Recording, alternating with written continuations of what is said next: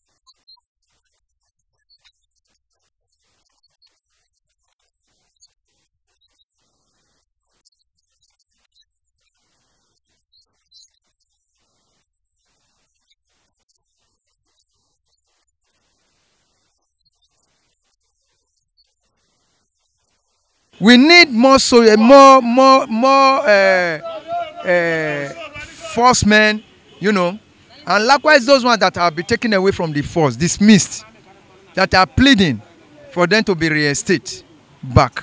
The federal government should do one or two things to bring them back. We know all fingers are not equal. There are some bad ones, there are still some good ones. Without them being there for us as securities, we are insecure in the country. That's my contribution to it. Ke me sunanka? Mai mai sunana yusuf biza ok yusuf visa. Tambayan da nike so yi maka da ranar nan shine me kake gani yake kawo rashin tsaro a ƙasar nan Najeriya? To rahin tsaro dai da laifin ma'aikata da laifin wajen shugabanninmu saboda kwantiri da ya zama cewa ba wani mai faɗa a- su ne nan suke abin da su ga dama a kai. Duk wani rahin tsaro yana ga hannun shugabanni da jami'an tsaro.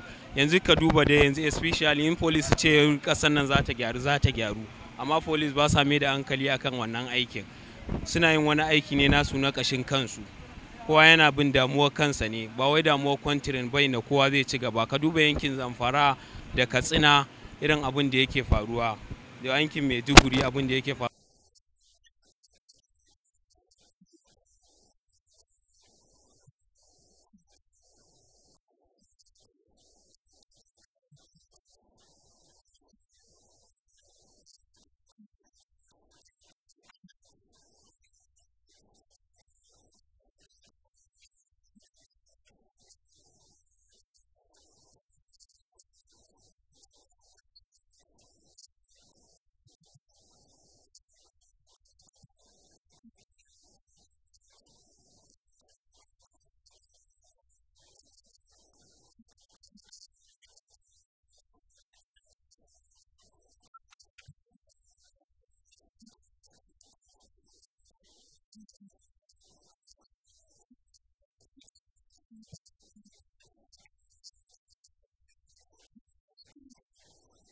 peace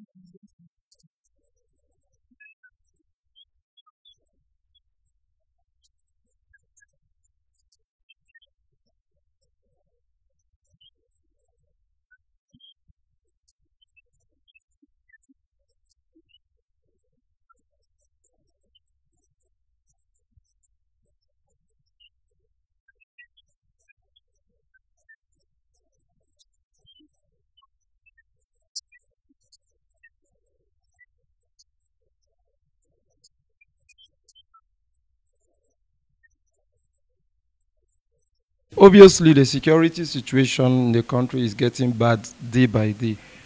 By my own opinion, I think we should overhaul all the security architects, architects altogether. And you know, security is not one man business; it's a business of everyone. But principally, the power is vested on the security outfits, the military, the police, and other security body. What we need to do is to make sure that the society the society is also adequate, like adequate policing. Our roads have adequate policing and surveillance work. and also the community or people should report to appropriate authority when they suspect anything.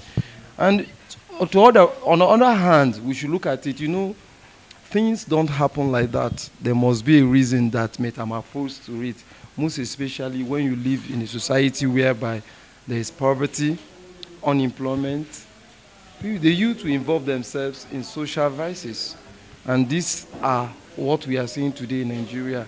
Like people are hungry to make money or to get anything by anyhow.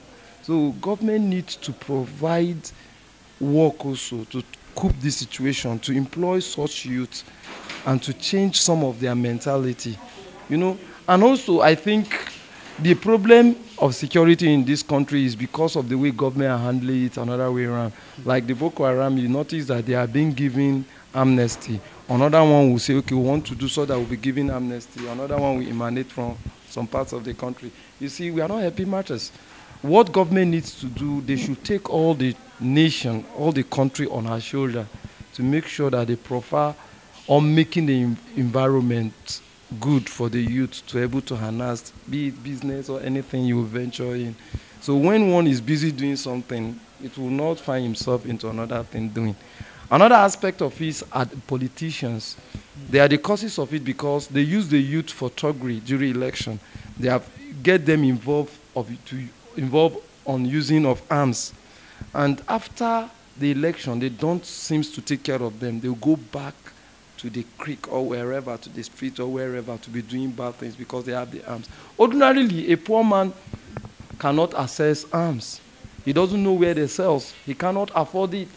So these people, there is a brain behind it. It's not only getting those people doing the art. Who is the brain behind it? Who is sponsoring them? You understand? So it's an overhaul things that government need to do. Even us, the society people, don't say that this person is my brother, this person is my. In as much the person is a criminal, fish him out and let it be taken out of the society. Else, it make the society become um, variable for everyone.